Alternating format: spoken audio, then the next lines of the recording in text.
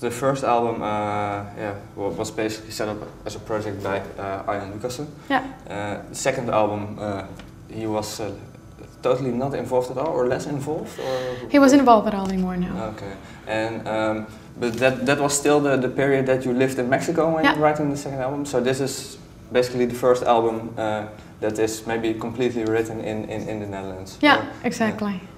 What what does that with yeah with, with songs? The uh, since you can maybe yeah create them more directly with, with, with everyone around you. Is, is can, can we hear that or can we feel that? I think so. Um, I think at first, what it, what it did make is that we, um, because one of our goals for this album was to experiment a lot more with music and stuff. So uh, what did happen in the beginning is that we tried like pretty much everything. You know, we started like just shoving in all kinds of influences that you know that went like every other way. Um, but now, when we managed to narrow it down to what we wanted, um, I think the fact that we were here all together um, helped us a lot to to get that band sound and that band vibe uh, really well in the songs. Because we, you know, before we went into the studio, we could just like gather and rehearse the songs and make sure that we all, you know, got that feeling before we went to record them. So that that became really important, I think, because um, I think it's it's not until you experience playing those songs with the rest that you can actually like evolve into that to that live sound. Yeah.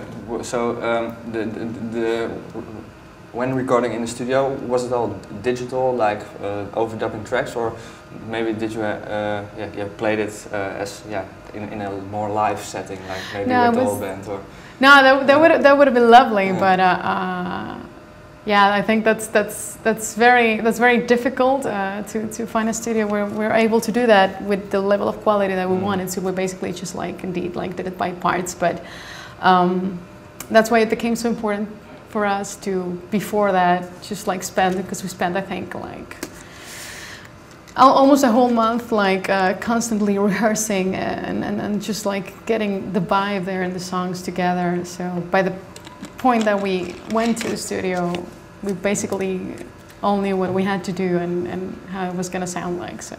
Yeah, it was actually recorded in a couple of, of studios I believe, Yeah, right? yeah.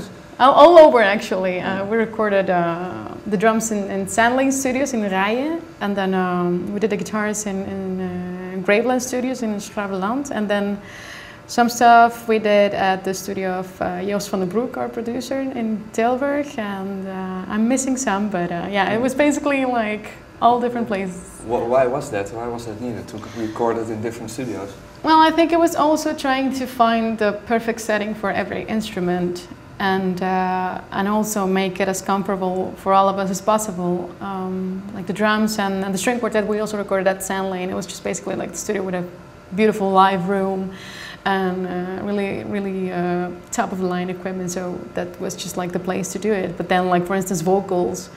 Um, it's ni- it's way nicer for me to record them in a setting where, where I feel very comfortable. So we did that at uh, studio, and uh, it's basically like a very small, intimate studio that it's like I don't know, like five minutes uh, away from where I live. So it was very comfortable and very, yeah, very nice, relaxed atmosphere. You know that you could just like take as long as uh, as needed, and uh, just like revise stuff and take it easy, and that's great. Yeah.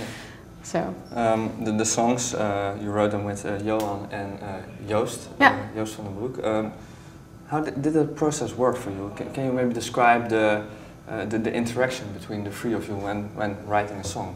Maybe you have an example of that. Um, well, I think uh, most of the time I would have um, I would have a basic idea that I would work on uh, back at home. I usually like just like take my little keyboard and uh, lay down like a chord progression and some melodies, and then record some vocal melodies on top of that, and then I would take them uh, with uh, with Johan and Joost, and then we would just like basically like put the basic structure of the song uh, together. And uh, what we uh, did then was just like take it to the band and then like you know like put it together with the band and rehearse it and make everything that, uh, um, just be sure that everyone is like you know interpreting the stuff on their own way and doing their own thing. Uh, that's that's I think basically how it looked like. How important is that mix of ideas in, in, in Stream of Passion?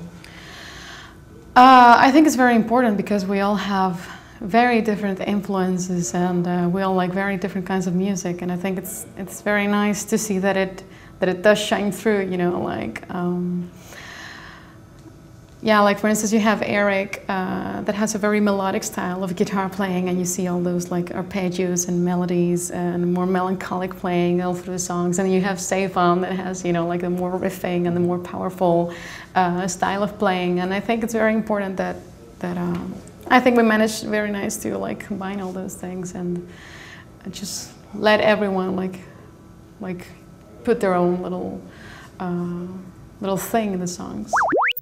Thank you.